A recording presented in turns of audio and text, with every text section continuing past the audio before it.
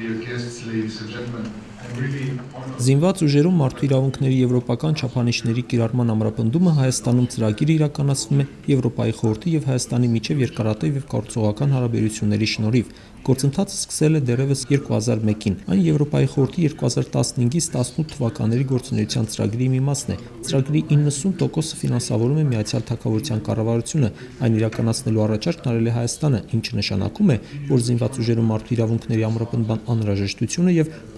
պատրաստակամությունը կա։ Ծրագիրը վերաբերում է ոչ միայն զինված ուժերին, այլև գլխավոր դատախազությանը, մարդու իրավունքների պաշտպանի գրասենյակին։ Այն հավակնոտ է եւ դրա իրականացման ճանապարհին բազմաթիվ մարդահրավերների են հանդիպելու։ Կարևորում են բարեփոխումներն իրականացնելու քաղաքական կամքը, ինչի արկայությունը մենք տեսնում ենք։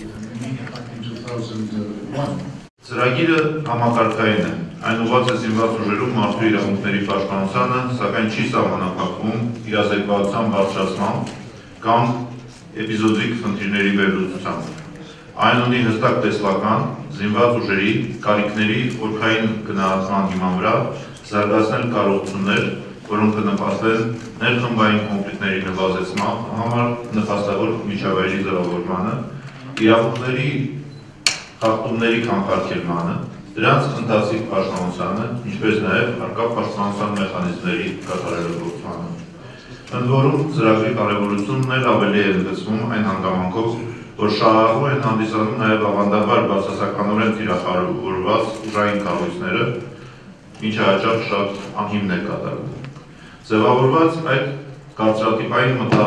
մտածելակերպը կարող է հեշտությամբ փոփոխվել, եթե ներդրվեն համապատասխան ընթացակարգեր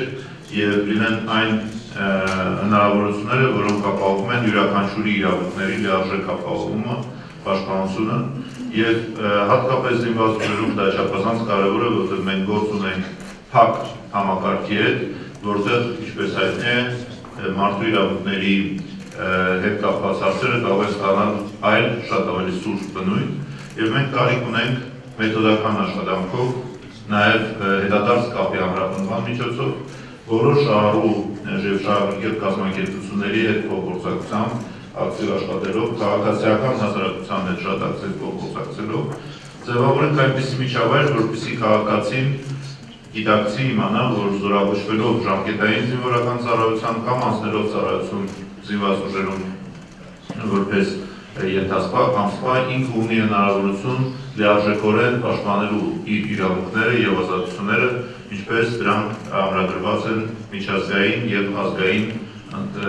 կարևորագույն փաստաթղթերով։ Կարծում եմ գիտեք, լսել եք, որ պաշտոնը ստանձնելու պահից հայտարարել եմ մի նոր մոտեցման մասին, որը ազգային բանակի կառուցումից մի նոր քայլ կատարելու ձգտում է դեպի ազգ բանակի կառուցում։ Եվ պատասխանելով առաջին օրերին այդ գաղափարին հակադարձած մտահոգություններին, ասացի, որ ազգ բանակի կառուցումը բացարձակ չի նշանակում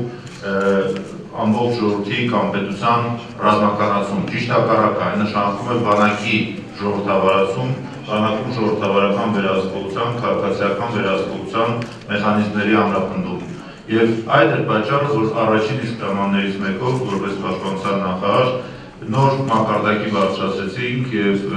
ձևավորեցինք ընթացակարգեր պաշտպանության նախարարության համակարգում գործող մարդու իրավունքների եւ բարեվարության կենտրոնի համար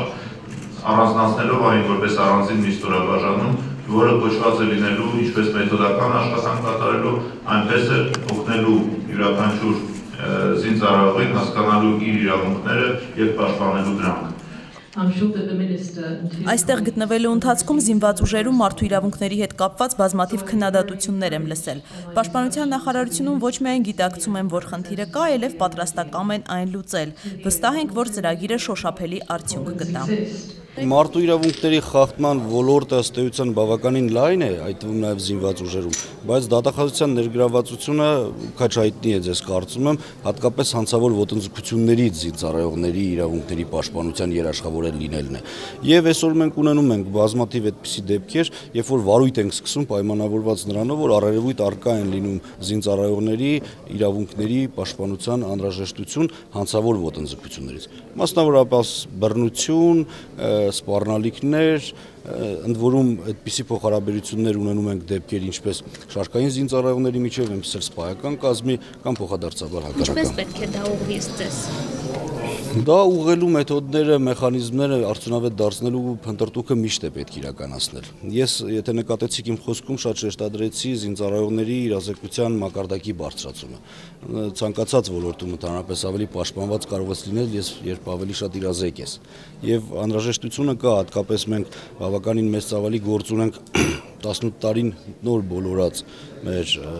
զինծառայողների հետ եւ անհրաժեշտությունը կա նրանց իրազեկել իրենց համապատասխան իրավունքների վերաբերյալ։ Այսինքն նախ պետք է զինծառայողներն իմանան ինչպիսի իրավունքներ ունեն, այդ իրավունքների պաշտպանության ուղղությամբ ինչպիսի քայլեր կարող են իրենք ձեռնարկել։ Բայց հաշվի առնելով նաեւ բանակային բազմաթիվ առանձնահատկություններ, բնականաբար չենք կարող մենք ակնկալել բացառապես որպես մեր գործունեություն սկսելու աղբյուր զինծառայողների նախաձեռնությունները եւ բնականաբար ներդրվելու են բազմաթիվ այլ մեխանիզմներ, որոնք գաղտնիության պահպանման կամ այլ ռեժիմներով հնարավորություն կտան, որպեսզի պետական մարմինները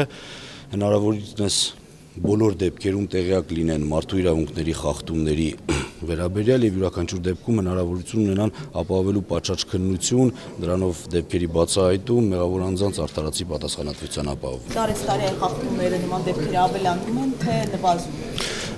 կարող եմ հրապարակել վերջին մի քանի տարվա հստակ թվերը այս պահին չեմ կարող ներկայացնել, բայց նվազման միտում ունի։ Հատկապես բռնության գործադրմամբ մեր զինծառայողների միջև զինծառայողների փոխհարաբերությունների խախտման համապատասխան դեպքերի նվազման միտում ունենք։